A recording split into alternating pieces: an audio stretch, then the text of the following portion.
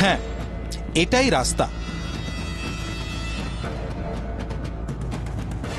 সস্তার জীবনযাপনে এই পথ পেরিয়েই রুটি রুজির টানে প্রতিদিন চলতে হয় শয়ে শয়ে মানুষকে, কৃষক থেকে পড়ুয়া, বালি কাদার পথ পেরিয়ে নিত্যদিনের যাতায়াত। ডিএম কে বলুন? এইটা তো পিচ রোড নাকি পিডব্লিউ কোথায় পিডব্লিউ রোড দেখানো? সাইকেল নিয়ে বাজার যাওয়ার রাস্তা আছে এটা হ্যাঁ। তেলান্তা এসিডিএস কেন্দ্র এখান থেকে তিরিশ কিলোমিটার রাস্তা আমাকে যেতে হয়। এখন আমি পঞ্চাশ কিলোমিটার আপ ডাউন করছি। পাঁচ ছ সাত মাস ধরে মানে একটু একটু হয়েছিল তারপর আবার মানে বেশি হয়েছে এখন। অনেক কষ্ট হয় যেতে সবাই ফের মানে অনেক সময় তো মানে রাস্তা থাকে না ও পা দেওয়ার জন্য সাইকেল থেকে নেমে। পড়ে যেতে যেতে থাকি। আবেদন, নিবেদন অনেক হয়েছে। ক্ষিপ্ত হয়েই পথ অবরোধে স্থানীয়রা। অভিযোগ, গোপীবল্লভপুরের আলমপুর খাদানের তিনশো থেকে চারশো বালির লরি যাতায়াত করে এই রাস্তা দিয়ে। তাতেই সাড়ে সর্বনাশ রাস্তা। আমরা বারবার বালি খাদানের যে মালিকগুলাকে অনুরোধ করেছি ওরা কিন্তু কোনো মতোই রাস্তা তৈরি করেনি। এই জন্য আমরা অবরোধ করেছি আজকে। সকাল থেকে সাড়ে নটা থেকে বেরিয়েছি এখানে গ্রামবাসী অটো চালকরা রাস্তা বেহাল অবস্থার জন্য এখানে অবরোধ হয়েছে এই জন্য আমি আমার ডিউটি যেতে পারিনি এখানে সব আটকে আছি।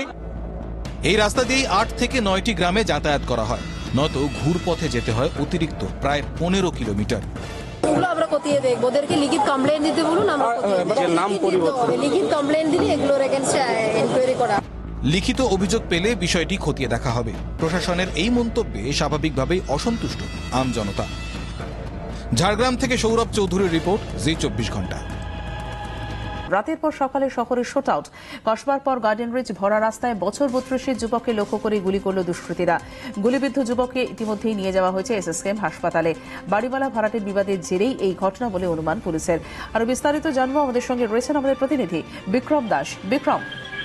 দেখো আজ কিছুক্ষণ আগে যেটা জানা যাচ্ছে মেটিয়াবুক এবং ব্রিজের মাঝখানে লিচু বাগান বলে একটি জায়গা সেখানে সিং নামে এক যুবক সে বাড়ি থেকে বেরিয়েছিল, রাস্তা দিয়ে যাচ্ছিল, সেই সময় যেটা অভিযোগ যে একটি বাইকে করে কয়েকজন দুষ্কৃতী আসে এবং তাকে লক্ষ্য করে গুলি ছোড়া হয়। এবং সেই ঘটনায় গুরুতর আহত হন এই সিং তৎক্ষণাৎ। স্থানীয় বাসিন্দারা তাকে সেখান থেকে উদ্ধার করে এবং এই মুহূর্তে এসএসকে হাসপাতালে তাকে নিয়ে যাওয়া হয়েছে।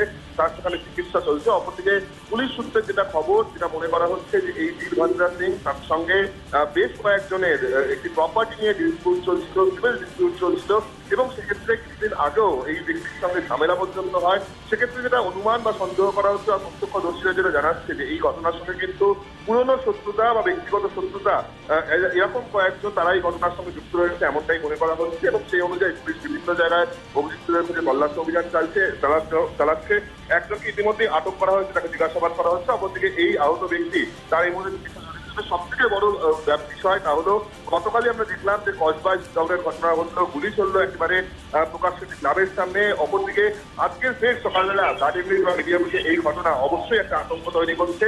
তা পুলিশ প্রশাসনের ক্ষেত্রেও কিন্তু একটা উদ্বেগ বাড়াচ্ছে, এমনটাই বলা যায়। আপাতত ধন্যবাদ, বিক্রম তোমায়। পরিস্থিতির উপর নজর রাখো।